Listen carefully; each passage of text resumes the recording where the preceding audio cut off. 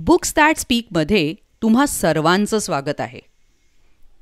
प्रत्येक गोष्ट व्यवस्थितपणे करण्याची अ ती शिस्ते विद्यालयात एकच पद्धत शिकवली जायची.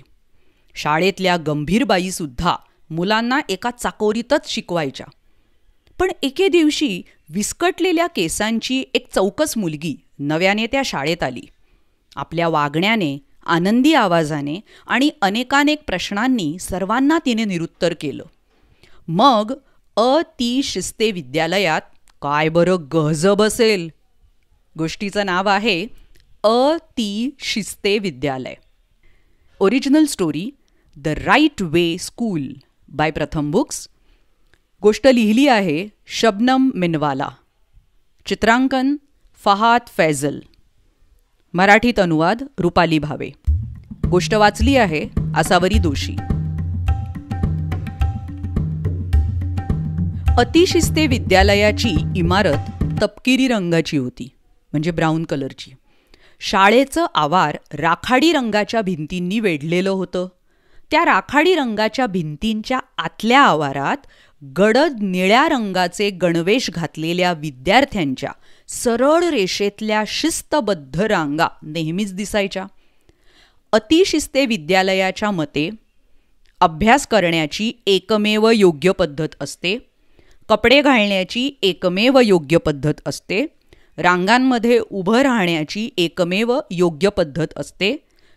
शाळेत सगळ्या विद्यार्थ्यांना नेहमी हेच शिकवलं जायचं.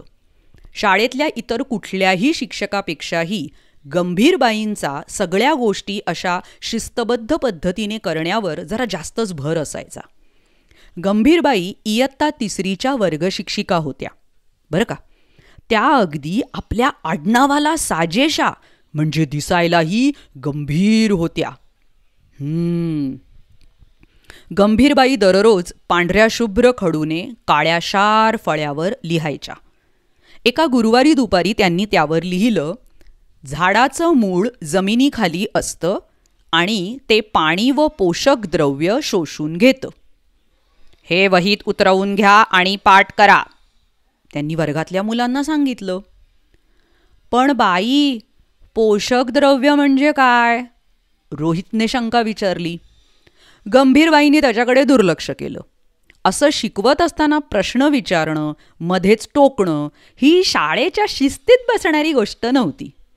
गंभीरबाईंनी विचारलं मीरा झाडाचं मूळ म्हणजे काय? मीराचे हातपाय गार पडले डोकं अजिबात चालेना. बाई तिच्याकडे पाहात पुटपुटल्या. मीराला तर रडूच फुटलं. गंभीरबाईंनी रोहितला विचारलं मूळ म्हणजे काय सांग पाहू? माती खालचा भाग आणि तो पाणी आणि गंभीरबाई मान हलवत म्हणाल्या. त्यांनी रोहितच्या डब्यातली चॉकलेट क्रीम बिस्किटं जप्त केली. गंभीरबाईंना राग आला की त्या चकचक करायच्या आणि संतापल्या की चकचक चक करायच्या. मात्र ज्या दिवशी गंभीरबाई चक चक चक चक करतील त्या दिवशी काय होईल? वर्गातल्या प्रत्येकालाच हा प्रश्न पडायचा. इतिहासाच्या तासाला गंभीरबाई सगळ्या वर्गाला सनावळी पाठ करायला लावायच्या. चित्रकलेच्या तासाला त्या आपल्या विद्यार्थ्यांना निळीशार नदी हिरवेगार डोंगर आणि पिवळा धम्मक सूर्य त्या त्या रंगातच काढायला लावायच्या. जर चुकून कुणी चित्रात सफरचंदाचं झाड किंवा घर काढलं तर सगळं संपलं.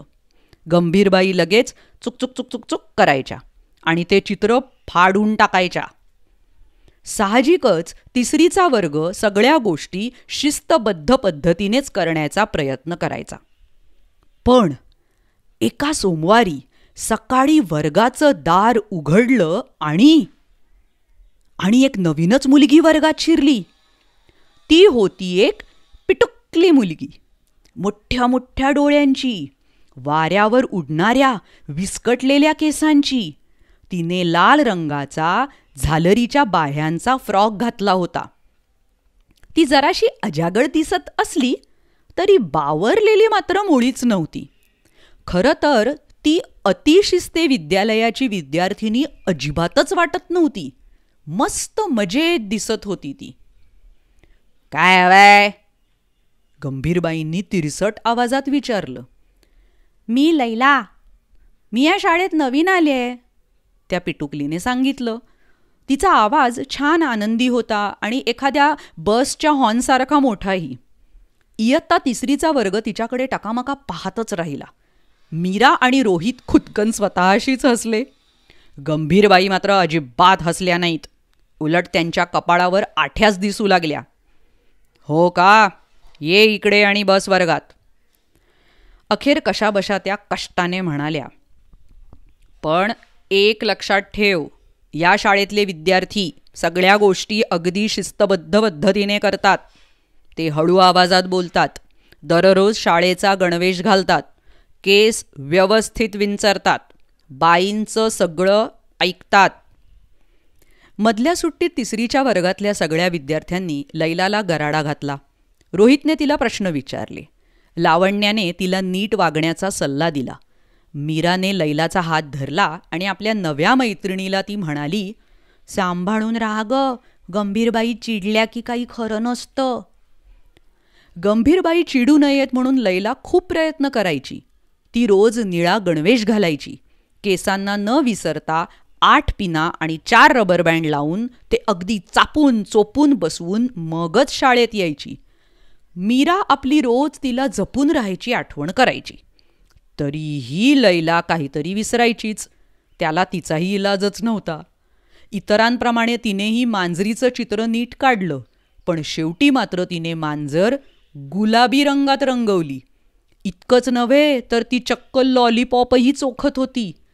गंभीरबाईंनी ते पाहिल्यावर चुकचुक करून त्यांनी ते चित्र फाडून टाकलं. एक दिवस इतरांप्रमाणेच लैलानेही भारताचा नकाशा रंगवला खरा. पण मग अखेरीला तिने तो हत्ती होड्या आणि आंब्याच्या झाडांनी भरून टाकला. गंभीरबाई फुत्कारल्या. त्यांनी लैलाला मधल्या सुट्टीत वर्गातच बसून राहायची शिक्षा दिली.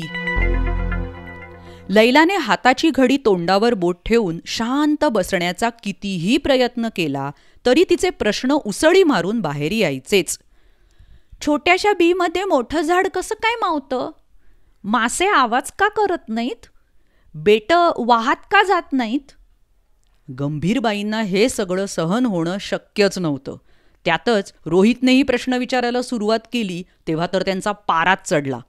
त्यानंतर लावण्या आणि आमोदचेही प्रश्न विचारायला सुरू झालं त्यांचं अगदी डोकंच फिरलं.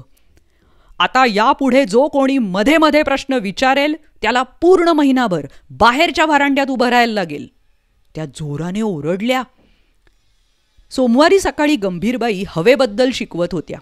सगळा वर्ग अगदी शिस्तीत वागत होता. त्यामुळे लैलाच्या मनातून उडी मारून तोंडातून बाहेर पडलेला प्रश्न फारच मोठ्याने विचारल्यासारखा वाटला. बाई ढग हवेसारखे असतात पाण्यासारखे का कापसासारखे? गंभीरबाईंच्या रागाचा आता स्फोटच झाला. त्यांनी दाराकडे बोट दाखवलं. हिरमुसलेली लैला एवढासा चेहरा करून वर्गाबाहेर गेली. मग स्वतःशी हसत गंभीरबाईंनी फळ्यावर लिहिलं पाऊस पडतो तेव्हा वातावरणातील बाष्प थेंबांच्या रूपाने. इतक्यात कुणाच्या तरी आवाजाने त्यांच्या बोलण्यात व्यत्यय आला. एरवी वर्गात तोंड उघडायलाही घाबरणाऱ्या मुलीचा आवाज होता तो. बाई धीर एकवटून मीराने हळूच विचारलं बाई ढगाचा स्पर्श कापसासारखा असतो का हो? सगळा वर्ग चपापला. गंभीरबाईंनी रागाने थरथरत दाराकडे बोट दाखवलं. मीरा वर्गाबाहेर गेली. मग रोहितने हात वर केला. त्यानंतर लावण्याने. पाच मिनिटानंतर गंभीरबाई एकट्या रिकाम्या वर्गाला पावसाविषयी शिकवत होत्या. तसा वर्ग पूर्ण रिकामा नव्हता म्हणा. वर्गात बाक होते ना. ते काही बाईंना मध्ये मध्ये टोकत नसल्याने बाई खुश. वीस मिनिटानंतर अतिशिस्ते विद्यालयाच्या मुख्याध्यापिका तिसरीच्या वर्गासमोरून जात होत्या. तिथल्या व्हरांड्यातलं दृश्य पाहून त्यांना धक्काच बसला. अतिशिस्ते विद्यालयाचे विद्यार्थी असे व्हरांड्यात गलका करत उभे. छे छे छे. ते तर नेहमीच वर्गामध्ये जागचे न हलता आपापल्या रांगेत निमूट बसायचे. मुख्याध्यापिकाबाईंनी मुलांना ओरडण्यासाठी तोंड उघडलं खरं आणि लगेच परत बंद केलं. त्याऐवजी त्यांनी नेमकं काय चाललंय हे ऐकण्यासाठी कान उकारले लैला आमोद मीरा आणि लावण्या इतर मुलांसोबत ढगांबद्दल बोलत होती. ते कापसासारखे दिसतात. नाही ग मग त्यांच्या आतून पाऊस बाहेर कसा काय येतो? ते आकाशातच कसे राहतात? खाली कसे पडत नाहीत? मुख्याध्यापिकाबाईंनी घसा खाकरला मग त्यांनी मुलांचं लक्ष वेधून घेण्यासाठी दोन टाळ्या वाजवल्या. मुलांनो इकडे बघा. मी देते तुमच्या सगळ्या प्रश्नांची उत्तरं त्या म्हणाल्या. त्या दिवशीपासून मात्र अतिशिस्ते विद्यालयाने आपल्या नियमांमध्ये बदल केला. प्रश्न विचारणं ही योग्य पद्धत आहे असं ठरवलं गेलं.